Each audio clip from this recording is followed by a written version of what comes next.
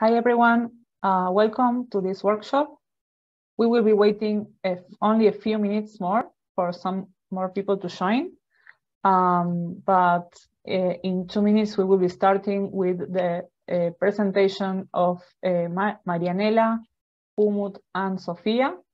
And then we will have a workshop session with them to think about feminist AI and critical perspective of, of AI. So we will wait just one minute and we will start.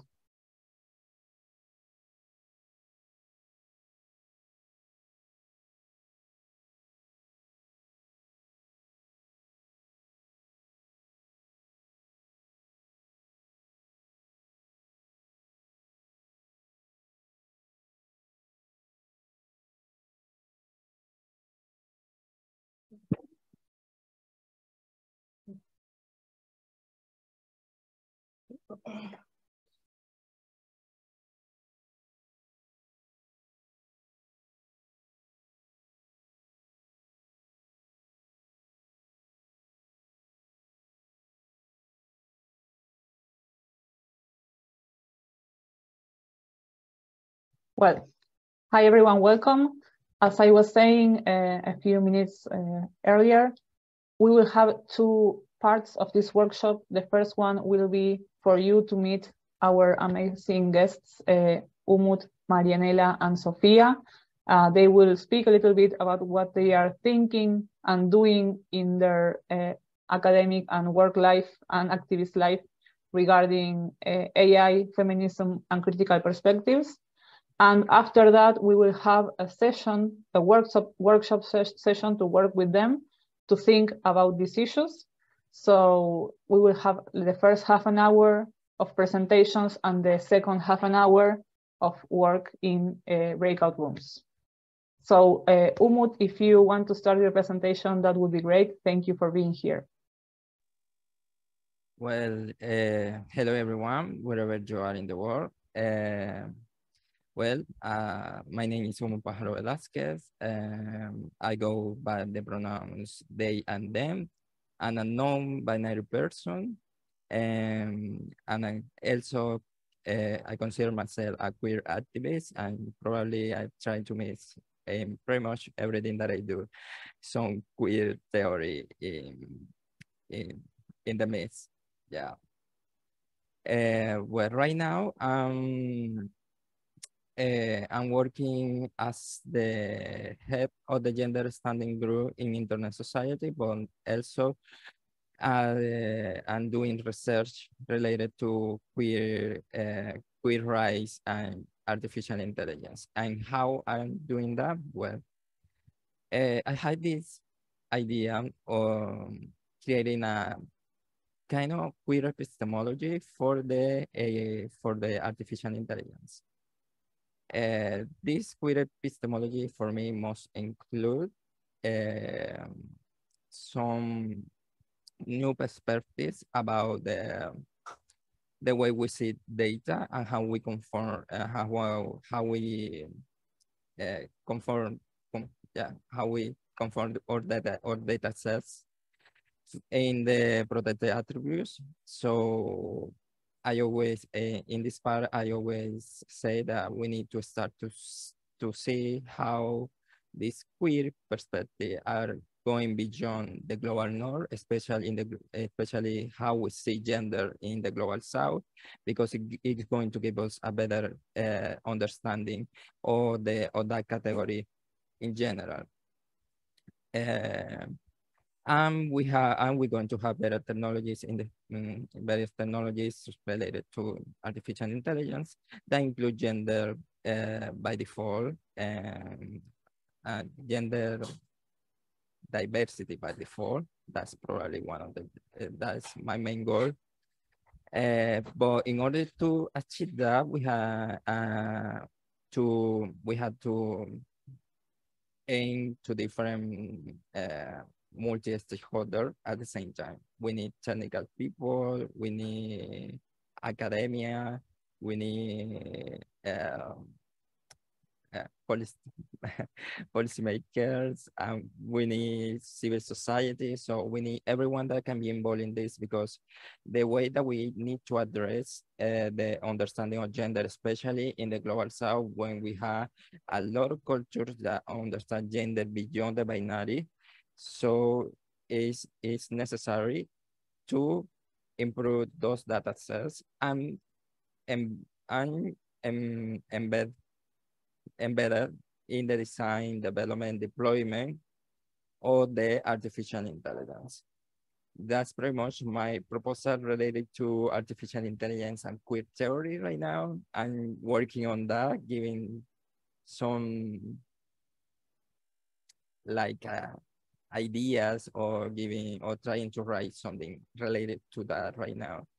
Uh, it's it's and and also it's actually my proposal for my doctorate. So I'm I'm hoping that actually can make it happen.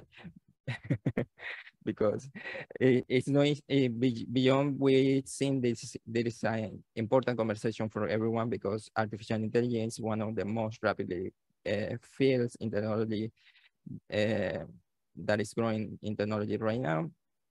Actually, it's not a thing that is uh, that it's not a conversation that we're having.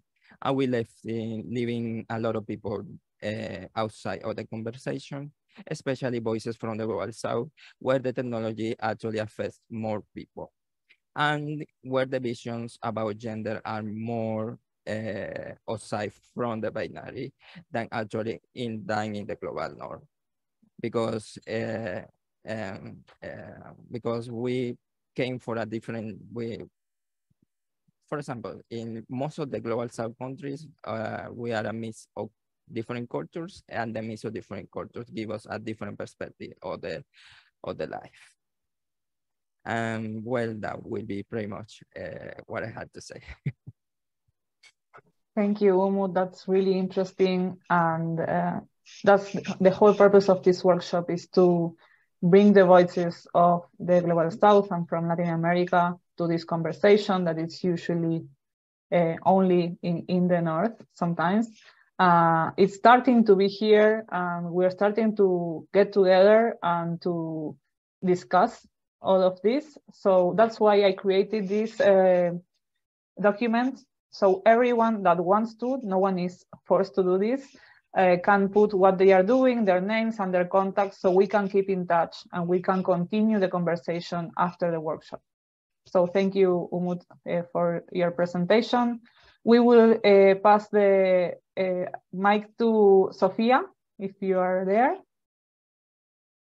Oh, yeah, hi. Uh, I'm very glad to be here. Thanks for the invitation. So I'm sorry, I prepared something for 10 minutes, so it will look like I will take a lot of space. So I apologize for that now.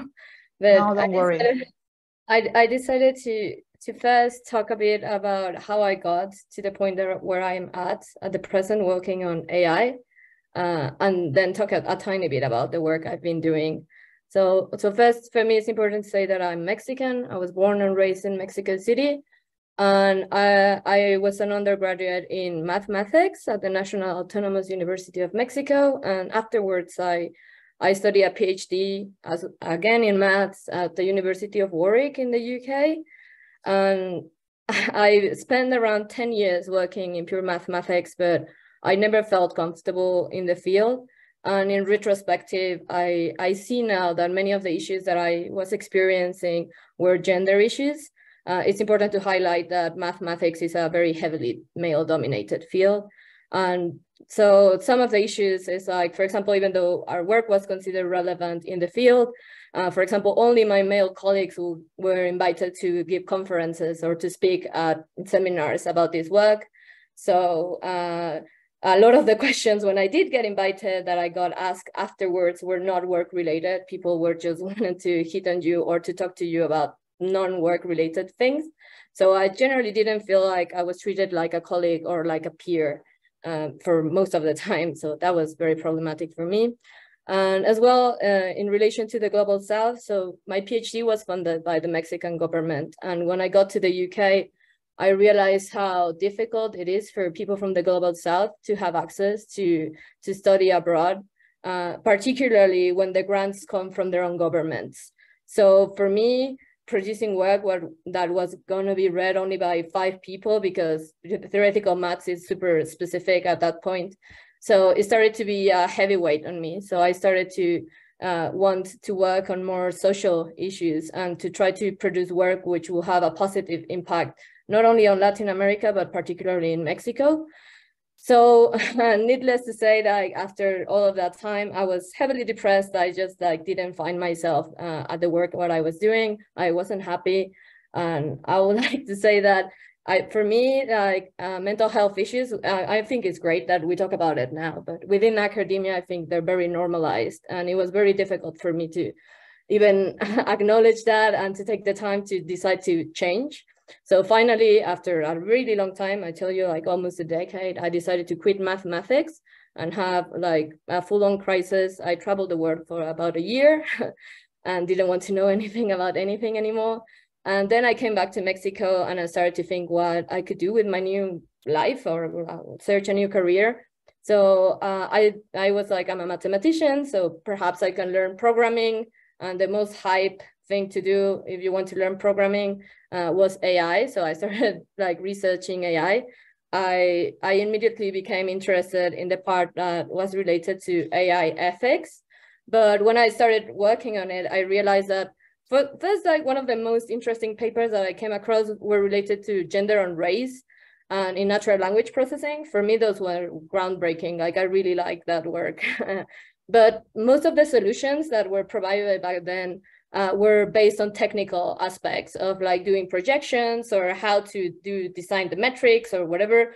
But the solutions didn't seem to really address the issues. And I didn't see this as a way of solving any of the problems that we were seeing with the systems. So I started to think maybe the problems are more related to the context and they couldn't be understood with the metrics that were being used uh, in AI. So I started to focus on understanding the politics, the culture, the narratives, and especially the materiality of AI. It's something that I really find that it's very interesting. So, uh, and then obviously you realize that most of these proposals or most of the visions of the work on AI uh, comes from the perspective of the global north and aligns with their visions, with their needs and with their aspirations. So uh, for me, it was groundbreaking to start reading, uh, particularly Black feminism in terms of standpoint theory, intersectionality, uh, bodies, territories, everything. Uh, and something else that was very important for me and I uh, I think it really changed my view. Is uh, I'm sharing this now. uh, can you see my screen? it's uh, kind of cut. Uh, yeah, I'll. Oh, no, it's, it's it's perfect now. Yeah, sorry, I have to make it bigger, but now I'm very I'm nervous. No, I I think it's it's pretty great. Don't worry. Yeah, can you see it? Okay, yeah. I just like I have like a million tabs open for some mysterious reason, but so for me, something that was very important was to come across with uh, epistemologies from the global south. And I really like this definition that is given by Sousa Santos, which is that, uh, so even though the, the global south is generally people who are living in the southern hemisphere, I like to think about the global south as a metaphor for human suffering caused by capitalism, colonialism at a global level, and as well as the resistance to overcoming or minimizing such suffering. So in this case, then it means that the anti-capitalist, anti-colonialist, anti-patriarchal, anti-imperialist South. So all those other visions that are aligned with this. so, and I think this uh, brings uh, the global South even to the global North. So there is South everywhere. No, so in the form of immigrants, in the form of like people who are marginalized, etc. So I started to think of epistemologies of the global south not as this, uh, or the global south not as this place that is like behind and is lacking things and has a lot of issues that need solving, but as a way of thinking about different ways of being or living and understanding the world, and to try to think if those other visions of the world could help us change AI or could change uh, the way that we're doing things.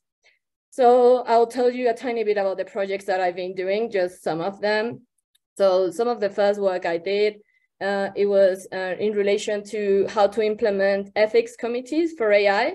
So this work uh, is, it, it, it, thinks about AI ethics from the point of view of human rights, but what what we wanted to do is to think about how, so bioethics is something that is already established and they have committees to oversee research and projects. So we were thinking, well, perhaps universities could use bioethics as a model in order to produce work or like to uh, to make committees to uh, to oversee AI. So, and something that I really like about bioethics comparison to other AI ethics proposals are, for example, some of the central principles are autonomy, beneficence, and non-maleficence.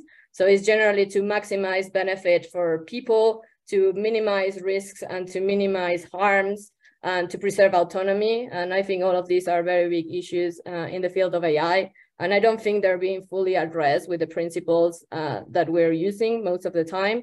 Depends on who produces the principles. and some of the other work that I did uh, was this one, which is, uh, it was a project uh, from a report for the Montreal AI Ethics Institute. So on this work, what I uh, what we did was to mainly analyze the the narratives around like the he hegemonic narratives around technology and particularly around the digital divide. And what we did in order to analyze these narratives is to analyze how Facebook has expanded in different countries in the global south, so in Mexico, Myanmar, and India.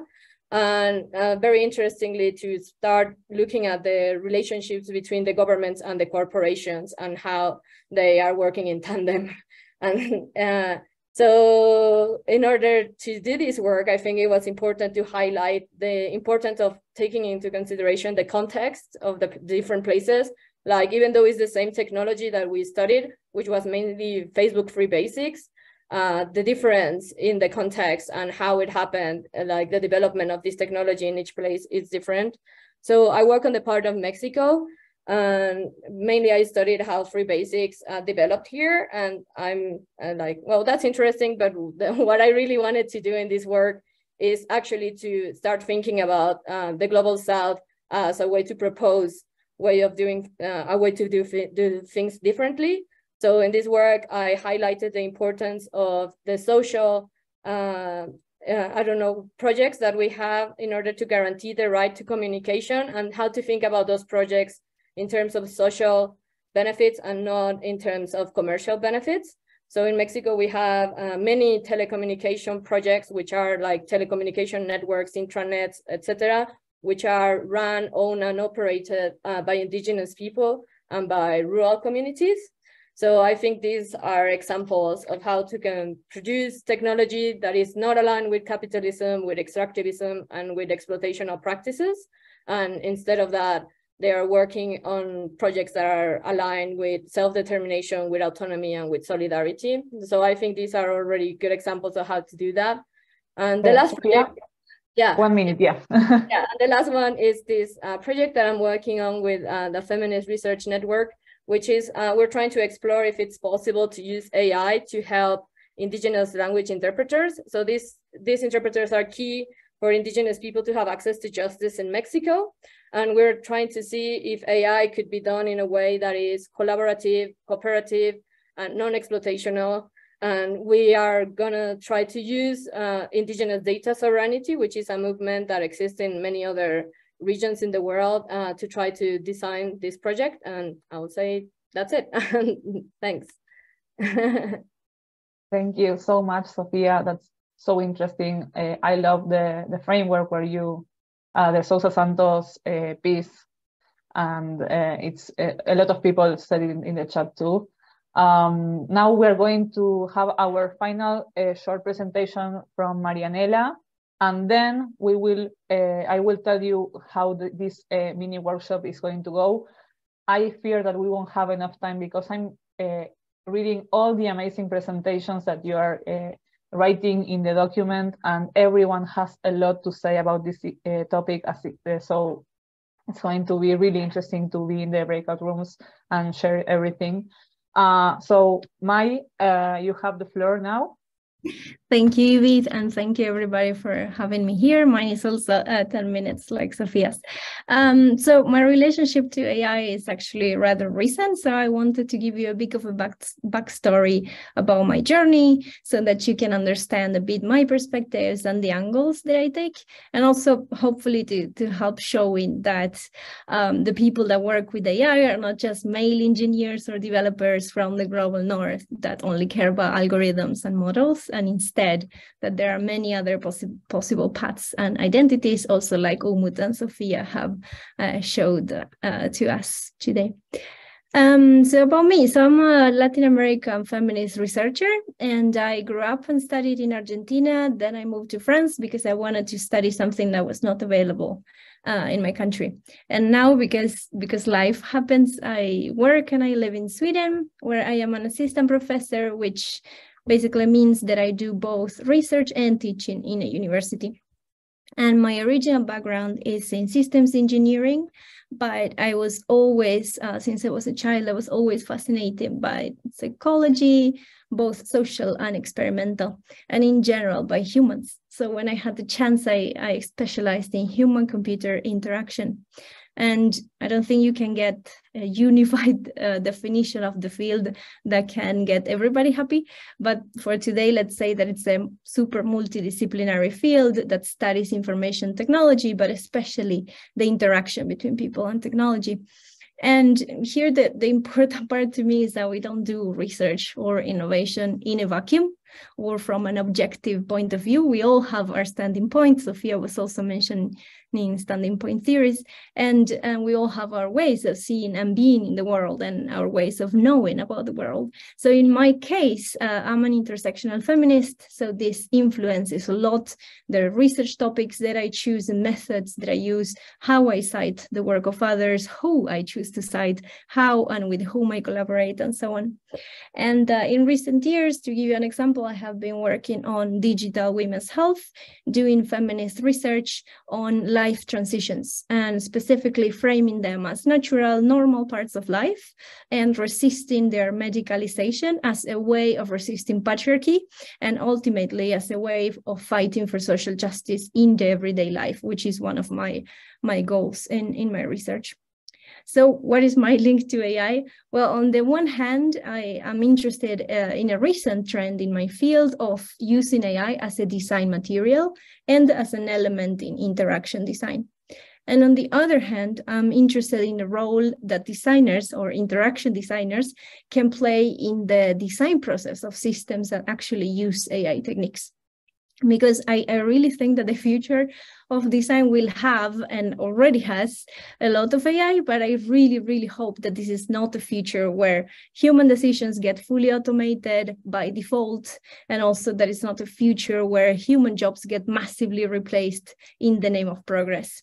So I'm convinced that interaction designers, both in research and in industry, in the private sector, should be mediating uh, or even translating between, for example, data scientists and end users, which is something that sometimes is a bit forgotten about. And uh, my approach to AI is anti-solutionist, and this means that I am against posing AI or technology in general as a solution to societal problems, or let's say more broadly to human problems. So Instead, I strive for a use of AI that can help humans in supporting social justice. And here the key is that to me, it's humans who do the social justice, not the technology. The, the AI in this case can be uh, just a tool or a, at most a collaborator, but not a solution. So I think that researchers uh, using or developing any type of applied AI they have a role to play in this landscape because I believe that it's very dangerous that development uh, of AI is driven by, controlled by, and limited to only big tech companies. Um, then if we take a more specific uh, view about the field of AI, I think that one evident path for a researcher with my sort of values would be to address bias. And I do think that bias is super interesting, identifying it, showing it, and also intervening it. But I'm also concerned about power, about analyzing and questioning power and power imbalances that happen within uh, data science and AI, because otherwise I think we would be attacking rather the consequences and not necessarily the causes of injustices. And I'm, of course, and clearly not uh, the first person taking this perspective, nor the only one. And there is a growing community, both in my field, that is called HCI, and more generally in AI, that we could say that they are aligned uh, with this. But what may help us characterize my approach is that uh, I am highly influenced by the work that is done here in Sweden in my research group that specializes in something called SOMA design. Um, and this is an approach to the design of interactive artifacts that rejects the separation between body and mind. And in doing so, it reclaims the importance of the body that, as many of you can guess, resonates a lot with feminisms. And um, in doing so, uh, also seeks to design interactions that engage in deeper ways with the senses, the five senses, and the materiality of humans and the human body with the ultimate goal of living a good life. And this sometimes implies challenging certain concepts that we take uh, in this century for granted, such as productivity or efficiency. So um, the idea is to instead allow oneself, both as a designer and as a user, to, for example, slow down and to take things in.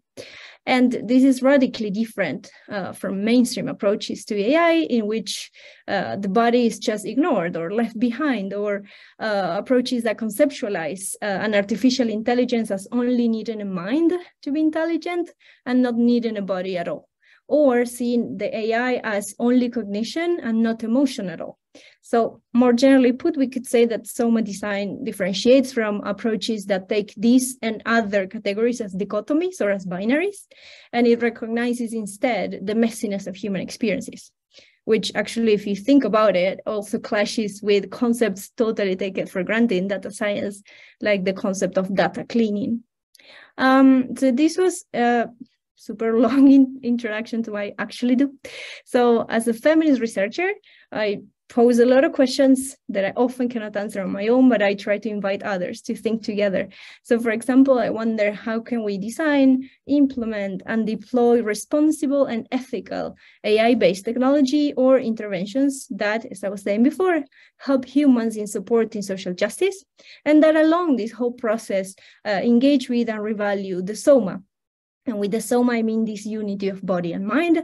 That also includes uh, the social aspect um, of the soma and its relationships, including labor relationships and so on. So this can sound very high level and abstract for some of you that maybe are not in this uh, field of research. So I wanted to just mention briefly some examples of uh, very recent projects that I'm currently involved in. So we haven't published much um, on this yet, but we are doing uh, about to do so. So one is on the topic of reproductive rights. So recently I was studying the user experience of digital contraception because there are people who use algorithms as a contraceptive method. And here's besides looking at how people interact with the AI that there is in the product, I've been also using AI as a tool that leverages on quantitative methods to scale up qualitative methods. And in this approach, the important part to me is that the AI doesn't replace the analytical take of the researcher or the subjectivity of the researcher. So in other words, it doesn't replace the researcher's intelligence, but it collaborates with them.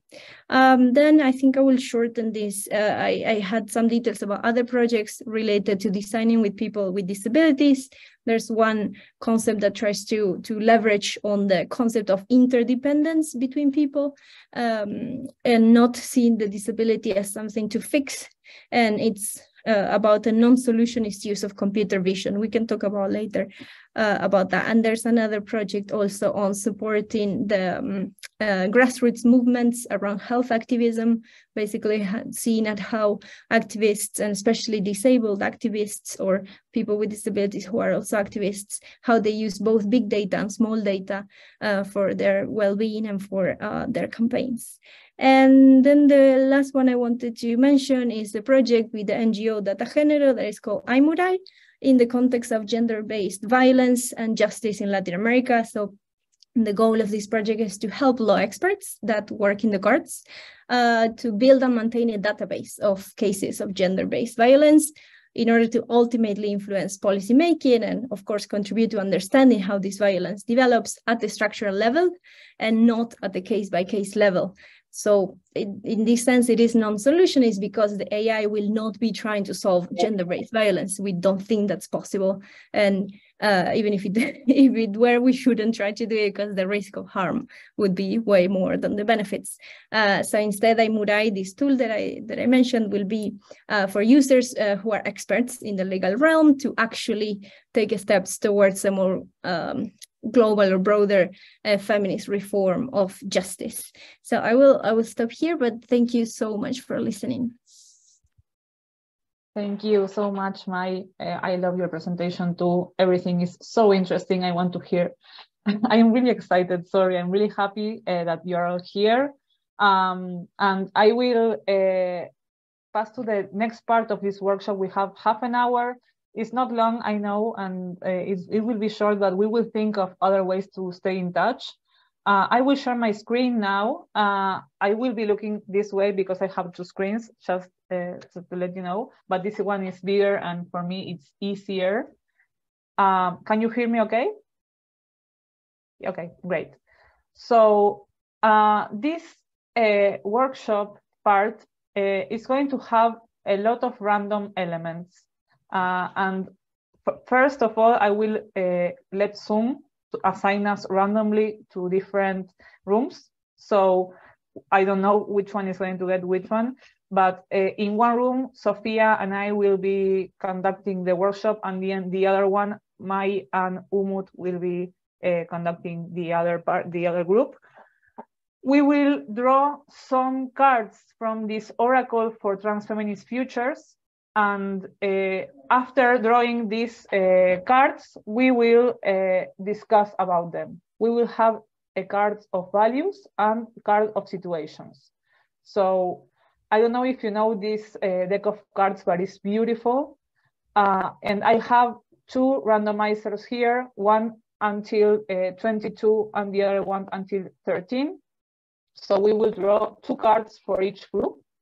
So uh, group number one, I will tell you which one is, is which. We'll get, this is 22, the card number four and the card number 19. So let's see, this is number four. I will put it here and I will send you the, the link to this, don't worry. And the number, yes, Okay, this one take, and then we will have the interface from 13, 12, and 11. Maybe your audio is cutting a tiny bit. Maybe you can close an app or something. I don't have anything else open. I'm so sorry. Um, I, uh, I will try to do this without, okay, I will close everything. Can you hear me okay now? No? Perfect. Yes. So yes, if yes, I stay yes. really quiet in my computer, it so uh, th this randomizer is uh, not liking it.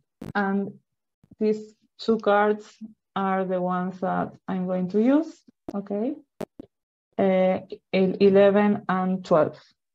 Uh, can you uh, copy past them, Mai, in the space for this group? Here 11 and 12.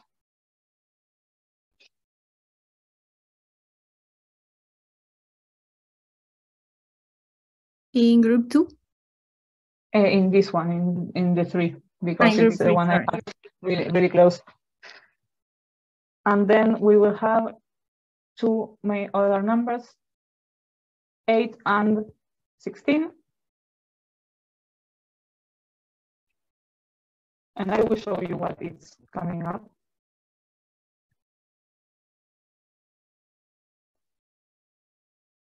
Here. And for the other round, the numbers, three and one. Perfect. You want me to copy them? Yeah, thank you. So um, uh, this was going to be originally in three groups, but since we are 34 now, it's going to be okay to be in two groups.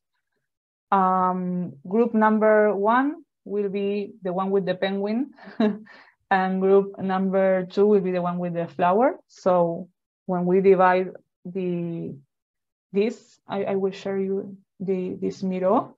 We can go to the rooms and talk about the cards that we have drawn from the deck and what what is uh, crossing uh, what are we thinking about these cards and what is uh, important from our practices with these cards. So uh, you will read them in your groups and I will send you the link to the Miro. You can ask for permission to get inside. And I will, I, I know at the time when we do breakout rooms, uh, people leave, but don't leave and stay to talk with us. Uh, okay, from one, perfect, my selfie, and Umut is going to be in here. Perfect. Uh, I will make you, I can't make you co-host my, but uh, it's okay. You will be in room one with Umut and Sophia and I will be in room two. I'm opening all rooms so you can hop in the room that you were assigned and see you there.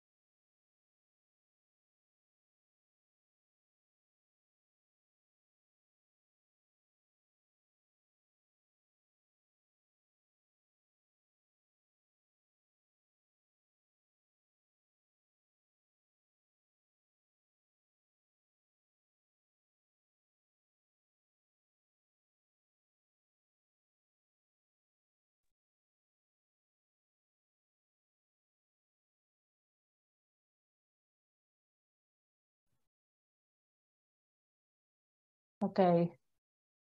We were like removed from the groups, sorry, but the time is coming to an end. And I really appreciate everyone that, sta that stayed for this particular moment. Uh, it was really great to hear what you were thinking about these issues. I hope that the deck uh, of the transfeminist technologies helped. I will send the link to it so everyone has access to the deck and also to the Miro. If you want access to edit, please ask for it. Ask for it. Um, I think there were a lot of discussions. I don't know if someone from the first group, uh, from Maya and Umut, want to share what they were thinking and discussing, uh, like in two minutes.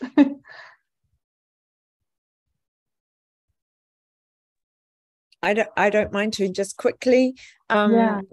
Everybody, I'm Sarah from New Zealand. But um, we were talking about children and in AI, and um, essentially, I think we're all in agreement that children and teenagers, especially, uh, are needing to be brought into from co-design right through to deployment as a voice. There were issues raised and concerns about how would we protect them in that in that environment. Um, how realistic is that actually going to happen when we're still trying to involve and include adults? Um, so it was a really rich conversation, but it certainly does highlight um, how important it is for children to be involved as the our future um, innovators, regulators, scientists. So um, yeah, I think if anyone else wanted to say if I've missed out. Thank you, Sarah, for the short uh, and condensed analysis of what you were talking about. Uh, we got the card of embodiment. I don't know if uh, Diana, for example, if you want to talk a little bit about what we discussed. Sorry for putting your name out there, but we know each other, so we have a little bit of uh, like sisterhood. No worries, Ivana. yes, uh, we talked about the um, about the importance of considering uh, other communities and their perspective about technologies. Also, taking count that technologies uh, is not always um, digital technologies, so it's important to to take in count how these communities are thinking about technologies and how um, they are or they have relationship with their development per, per perspective. Uh, we talk also about the relationship about technologies and bodies. Also considering um, just the, the, that uh, uh, artificial intelligence and data um, is created um, based on our our bodies and also our our physical environments uh, because it's important consider that um, in, in in this context we we have to to also um, identify the resources physical resources and environment resources resources that are involved in all the technology sustainable. So yes, more or less, there are the main ideas. I don't know, Ivan, if you want to share other other ones. Yeah, thank you. Uh, as uh, Courtney was saying in the chat, uh, I would love to continue this conversation, and I think that many of us need to. So uh, if you uh, can write to me an email uh, here. If anyone is interested in continuing this conversation, we can discuss via email what is the best way to keep in touch and to keep building together. Um, I will save the chat. You have in this link the the presentation feminist AI workshop, like the, uh, the direction book for all of us. So uh, we this is this was like this uh, kickoff of this uh, group, but I think that we can stay in touch and keep building knowledge together from different parts of the world, from the global north and the south. Um, so uh, thank you for the participation and technical moderator is telling me that we should wrap up. But thank you, Sophia, Mai, Umut, and everyone that stayed until the end. And uh, we will continue this conversation. Thank you.